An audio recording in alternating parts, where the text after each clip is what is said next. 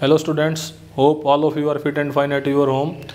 Our uh, in our last top- topic beta we will study about quantum numbers and their significance. Today we will uh, study about uh, quantum numbers, their problems.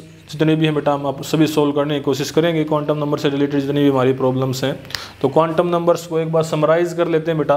Quantum numbers हमारे पास चार quantum number थे। पहला quantum number था बेटा principal quantum number principal quantum number जिसको हम N से denote करते हैं। दूसरा था बेटा हमारे पास azimuthal quantum number quantum number जिसको हम एल से डिनोट करते हैं। तीसरा था बेटा हमारे पास मैग्नेटिक क्वांटम नंबर जिसको हम एम से डिनोट करते हैं। चौथा बेटा हमारे पास स्पिन क्वांटम नंबर जिसको हम एस से डिनोट करते हैं।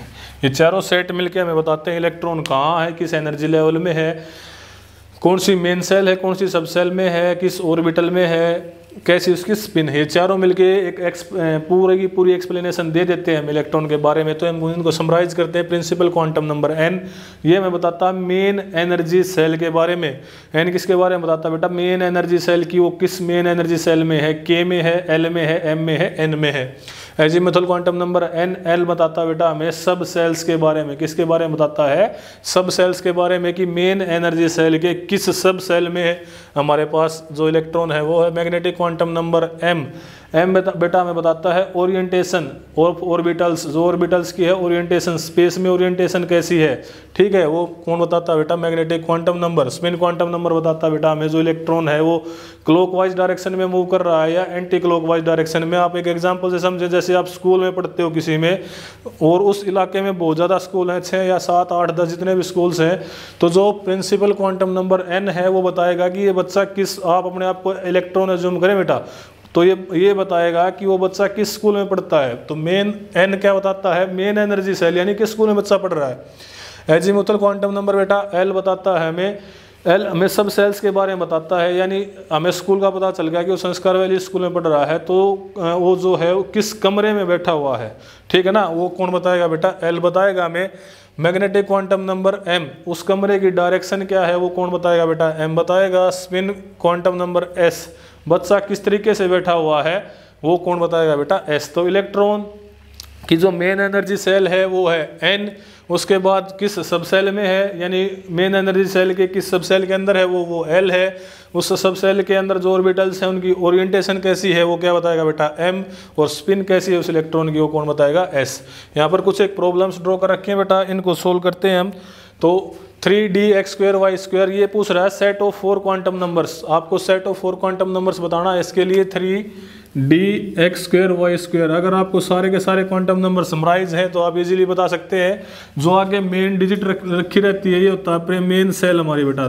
तो एन को डिनोट कौन करता है? जो यहाँ पर जो डिजिट डिजिट लिखी रहती है वो क्या होती है बेटा? एन तो ये हमारा जो है प्रिंसिपल क्वांटम नंबर है तो एन की वैल्यू क्या रहेगी बेटा हमारे पास? N is equal to three हम पहली प्रॉब्लम को लेके चल रहे हैं, बेटा N is equal to three N की वैल्यू तीन है तो एल की वैल्यू क्या रहेगी बेटा हमारे पास? एल की वैल्यू होती है एन माइनस वन ठीक है? एल की वैल्यू क्या होती है बेटा? एन माइनस वन तो एल की वैल्यू क्या रहेगी बेटा हमारे पास? हमारा जो ऑर्बिटल है डी उसके लिए हमारी वैल्यूज़ होती है बेटा एल की एन माइनस वन ये ज़ीरो से शुरू होते हैं बेटा ज़ीरो से, और L minus L is equal to N minus one तक। कैसे? जैसे बेटा, हमारे पास प्रिंसिपल क्वांटम नंबर है एक। प्रिंसिपल क्वांटम नंबर क्या बेटा हमारा? n is equal to one है। तो l की वैल्यू क्या रहेगी बेटा? n माइनस वन यानी वन माइनस वन ज़ीरो ये हमारी ज़ीरो से ज़ीरो वैल्यू आ गई तो इसमें आगे हम जाने की कोई ज़रूरत नहीं है। अगर प्रिंसिपल क्वांटम नंबर हमारा दो है बेटा तो एल की वैल्यू क्या आएगी? एन माइनस वन वन यानी ज़ीरो और वन दो वैल्यूज़ आ जाएँगे हमारे पास एल की। ज़ीरो और वन, यानी यहाँ पर अगर सब सेल बतानी हो हमें तो कितनी सब सेल है बेटा? दो है। ज़ीरो किसके लिए होता है? एल की वैल्यू मैं लिख देता हूँ, एक बार आपको याद कर लेनी है। एल की वैल्यू जो ज़ीरो है बेटा, वो एस सब सेल के लिए होती है। एल की वैल्यू एक है जो वो पी सब सेल के लिए होती है बेटा। एल की वैल्यू जो दो है, वो डी सब सेल के लिए होती है। एल की वैल्यू थ्री है बेटा, वो किसके लिए होती है? एफ़ सब सेल के लिए होती है। इस तरीके से आपको ये एल की वैल्यूज़ याद रखनी है। ठीक है ना? तो एल की जो वैल्यू हम निकाल लें एन माइनस वन से वो ज़ीरो और उसके बाद जो वैल्यूज़ आएँगी, वहाँ तक हमें पहुँचना होता है ताकि हमें सब सेल्स के बारे में पता चल जाए। तो प्रिंसिपल क्वांटम नंबर थ्री है डी दे रखा है तो डी के लिए एल की वैल्यू बेटा हमारी क्या रहेगी? दो। X square minus Y square इसके लिए एम की वैल्यू मैंने आपको लिखवाई थी प्लस टू और स्पिन हमें देने रखी तो आप प्लस हाफ़ और माइनस हाफ़ दोनों में से कोई भी एज्यूम कर सकते हैं। तो जो मेन डिजिट लिखी रहती है, वो होती है हमारी principal quantum number principal quantum number N ठीक है बेटा? इसके बाद एल की वैल्यू होती है हमारी एन माइनस वन ज़ीरो से बेटा, ठीक है? तो आपको याद कर लेनी है, अगर प्रिंसिपल क्वांटम नंबर हमारा एक है तो उसमें वैल्यू आएगी एल की ज़ीरो उसमें एक ही सबसेल होगी।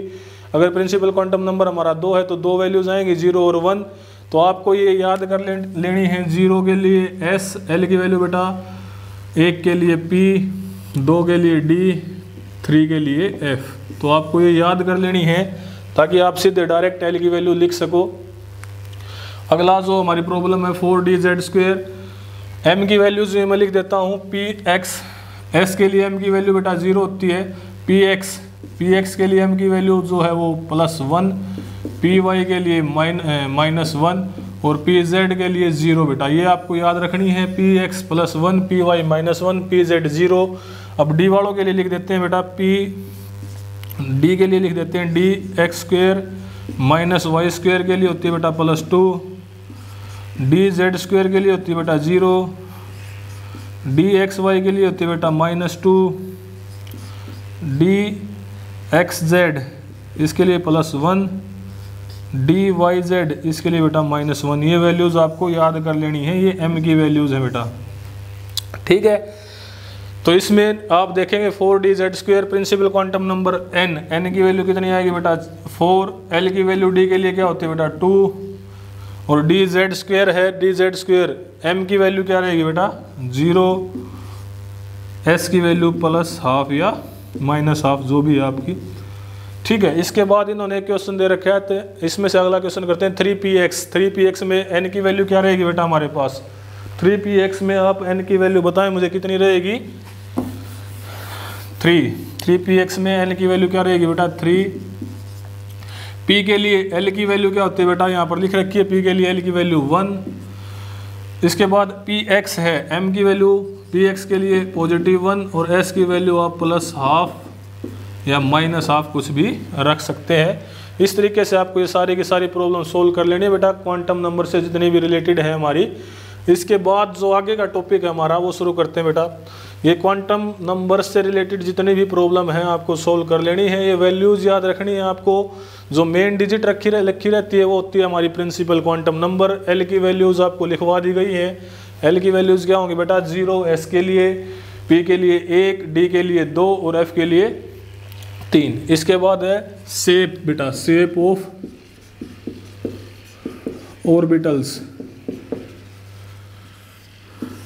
shape of orbitals जो डिफरेंट टाइप के हमारे पास ऑर्बिटल्स हैं, उनकी शेप क्या रहेगी?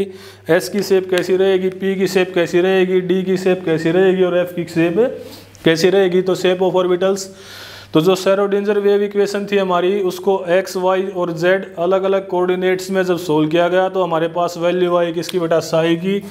साई की वैल्यू आप लोगों को पता है, इतनी ज़्यादा इंपॉर्टेंट नहीं है अगर हम साई का स्क्वायर कर देते हैं। तो ये क्या आ जाएगा बेटा? हमारे पास probability of finding electron electron को फाइंड करने की प्रोबेबिलिटी आ जाएगी। हम अगर साई का स्क्वायर कर देते हैं तो ठीक है? तो साई इतना ज़्यादा इंपॉर्टेंट नहीं था हमारे लिए। साई स्क्वायर ज़्यादा इंपॉर्टेंट है क्योंकि ये बताएगा प्रोबेबिलिटी ऑफ़ फाइंडिंग इलेक्ट्रॉन यानी किस डायरेक्शन में इलेक्ट्रॉन को फाइंड करने की प्रोबेबिलिटी ज़्यादा है मैक्सिमम है। प्रोबेबिलिटी के बारे में मैं आपको पहले बता चुका हूँ, जैसे किसी दिन मान लिया आसमान में बादल छाए हुए हैं तो आप क्या कहेंगे कि प्रोबेबिलिटी है कि बरसात हो, लेकिन संभावनाएँ हैं हमारी कि बरसात हो, लेकिन ये तो श्योर नहीं है ना कि आप, कि बरसात होगी ही। तो प्रोबेबिलिटी का मतलब क्या है कि वहाँ पर इलेक्ट्रॉन फाइंड होने की मैक्सिमम संभावना है। बेटा मैक्सिमम प्रोबेबिलिटी है कि इलेक्ट्रॉन वहाँ पर हमें मिलेगा। जब हम साई और रेडियस रेडियस न्यूक्लियस से बेटा दूरी और साई इनके बीच में ग्राफ बना रहे थे तो बेटा वन एस ऑर्बिटल के लिए, वन एस ऑर्बिटल के लिए जब ग्राफ बनाया तो हमें कैसा ग्राफ मिला? इस तरीके का ग्राफ मिला बेटा हमें। टू एस के लिए जब हमने ग्राफ बनाने की कोशिश की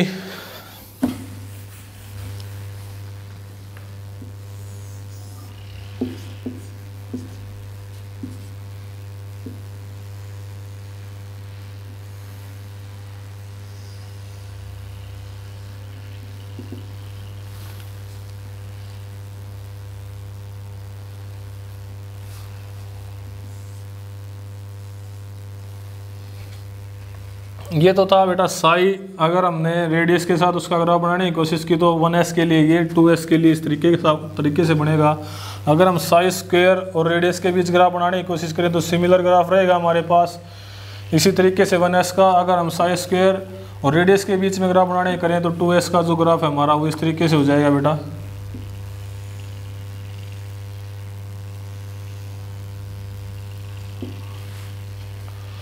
अब यहाँ पर बात समझें कि किस तरीके से होगा।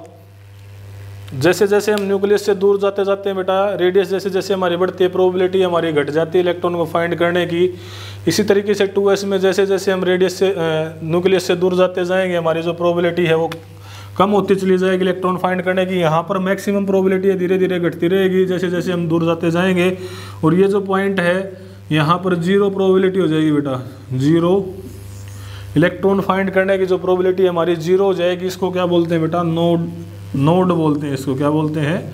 नोड तो आपसे पूछा जाए नोड क्या होता है? नोड वो स्पेस है जहाँ पर इलेक्ट्रॉन फाइंड करने की प्रोबेबिलिटी क्या हो बेटा? ज़ीरो होती है। ठीक है? तो नोड क्या होगा हमारा? जहाँ पर इलेक्ट्रॉन फाइंड करने की प्रोबेबिलिटी क्या रहे? ज़ीरो रहे। तो जो एस वन एस और टू एस के बीच में जब ग्राफ बनाया गया तो इलेक्ट्रॉन फाइंड करने की प्रोबेबिलिटी क्या मिली? कि न्यूक्लियस के चारों तरफ़ एक जैसी मिली हमें। न्यूक्लियस के चारों तरफ़ कैसी प्रोबेबिलिटी मिली बेटा? एक जैसी प्रोबेबिलिटी मिली। तो एक ही ऑर्बिटल है हमारे पास एस में। तो उसका शेप कैसी होगी? एस की स्फेरिकल शेप रहेगी। कैसी रहेगी बेटा? स्फेरिकल एस की शेप कैसी रहेगी?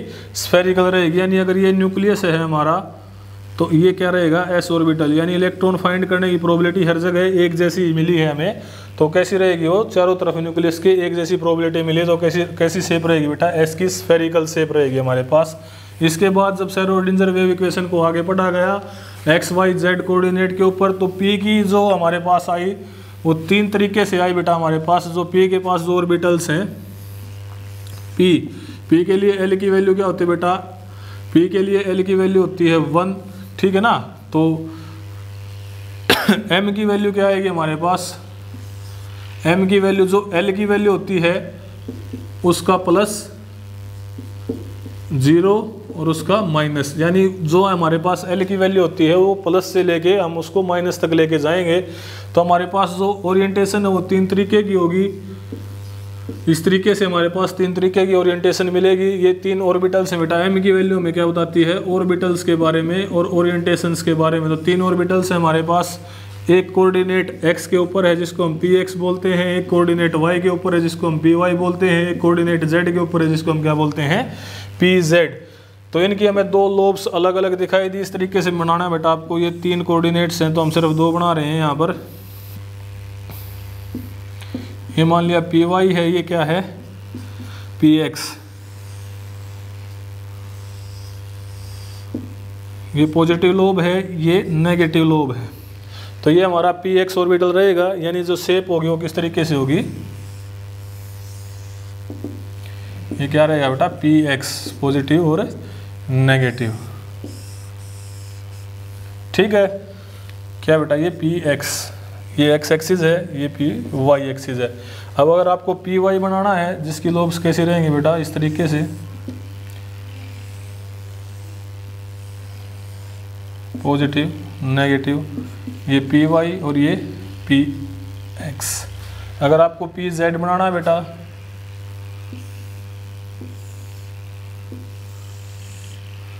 P X P Y P Z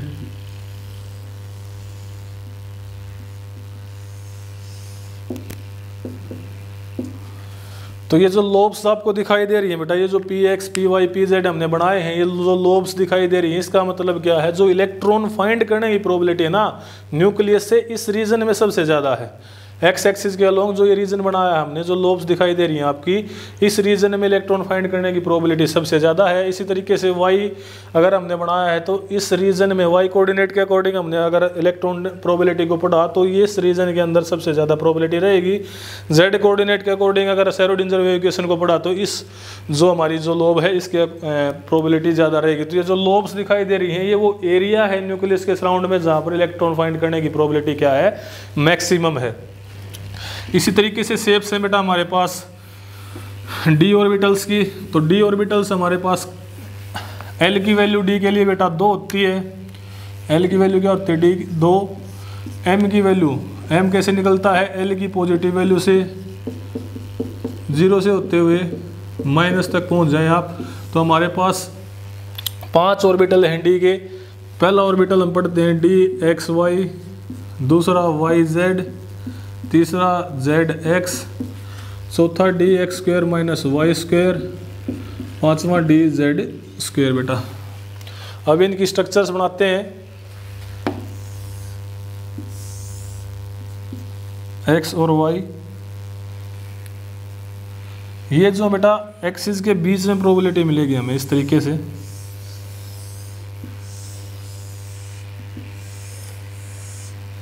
ये पॉजिटिव लोब ये पॉजिटिव लोब तो ये हमारे पास स्ट्रक्चर है डी एक्स वाई की बेटा। अब हम बनाते हैं डी वाई जेड की।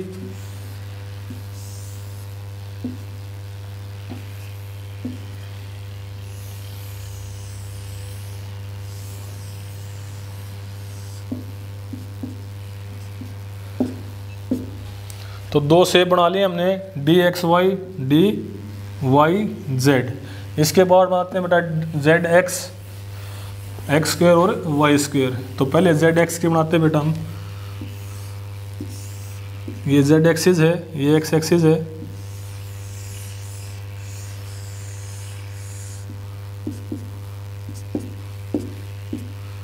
Z X X square Y square के बनाते हैं बेटा। अभी तक तो जो लोब्स थे हमारी एक्सिस के बीच में थी बेटा। अभी तक जो लोब्स थी वो एक्सिस के बीच में थी, एक्स और वाई, अब जो लोब्स हैं वो एक्सिस के ऊपर होंगी इस तरीके से।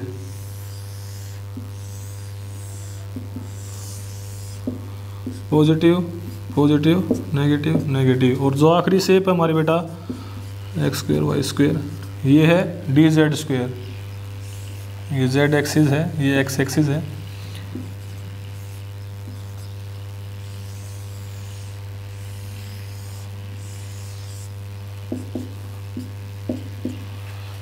तो ये हमारी डी जेड स्क्वेयर डफनट से भी बोलते हैं क्लोवर लीव से भी बोलते हैं डी जेड स्क्वेयर को। तो ये जो साइन लगाए बेटा पॉजिटिव और नेगेटिव ये कोई चार्ज नहीं है। आप कहीं इनको ये सोचें कि ये पॉजिटिव चार्ज है नेगेटिव चार्ज है। ये सिर्फ़ वेव को इन फ़ेज़ और आउट फ़ेज़ दिखाने के लिए है बेटा पॉजिटिव और नेगेटिव ये वेव का एम्पलीट्यूड है पॉजिटिव और नेगेटिव यानी वेव फ़ेज़ में है या आउट ऑफ़ फ़ेज़ है। तो इस तरीके से हमने जो शेप्स हैं वो पढ़नी है। एस की स्फेरिकल शेप रहेगी पी की हमने, हमारे पास डम्बल शेप आए थे, आपने देखा था, दो अलग अलग लोब्स थी। ये इस तरीके से हमारे पास डी की सभी ऑर्बिटल्स की आपको शेप पता होनी चाहिए। इसके बाद हमने एक ज़िक्र किया था नोड का बेटा। नोड क्या था? नोड वो स्पेस जहाँ पर इलेक्ट्रॉन फाइंडिंग की प्रोबेबिलिटी क्या हो ज़ीरो हो, जहाँ पर इलेक्ट्रॉन ना हो तो नंबर ऑफ़ नोड्स कैसे निकालेंगे बेटा? नंबर ऑफ़ नोड्स किसी भी ऑर्बिटल के ऑफ़ एनी ऑर्बिटल किसी भी ऑर्बिटल के नंबर ऑफ़ नोड्स निकालने के लिए N minus L minus one के लिए फॉर्मूला होता है बेटा हमारे पास। N principal quantum number minus L जो भी है वो, और उसमें से एक और घटा देंगे आप। दो तरीके के नोड है हमारे पास बेटा स्फेरिकल और रेडियल ये तो एक जैसे होते हैं स्फेरिकल और रेडियल और उसके बाद इनके लिए फॉर्मूला बेटा ये स्पेरिकल और रेडियल नोड्स निकालने के लिए। इसके बाद प्लेनर प्लेनर जो नोड्स हैं, वो निकलते हैं एल जितने उस ऑर्बिटल की एल की वैल्यू होगी, उतने उसके पास कैसे नोड्स होंगे बेटा? प्लेनर और जितनी हमारे N minus L Y inverse one जो वैल्यू होगी उसके पास स्फेरिकल और रेडियल टोटल नोड्स निकालते हैं बेटा। Total nodes N minus one के फॉर्मूले से। टोटल नोट्स हमारे पास कैसे आ जाएँगे? एन माइनस वन के फॉर्मूले से हमारे पास नोट्स आ जाएँगे। यानी किसी भी ऑर्बिटल में कितनी ऐसी जगह हैं जहाँ पर इलेक्ट्रॉन फाइंडिंग की प्रोबेबिलिटी ज़ीरो है, वो एन माइनस वन से। प्लेनर नोट्स कितने हैं? एल और रेडियल और स्फेरिकल नोट्स कितने हैं? हमारे पास N minus L minus one radial और स्फेरिकल नोट नोट्स जो होते हैं बेटा एस ऑर्बिटल में होते हैं, क्योंकि उनकी जो साइज़ कैसा है वो स्फेरिकल साइज़ में है तो जो भी हमारे पास नोट्स होंगे, वो कैसे होंगे? N minus L minus one ये था हमारा बेटा आज का topic hope all of you well understand about this if you have any doubt tell me on my Zoom class on और my personal WhatsApp number thank thank you बेटा thank you all of you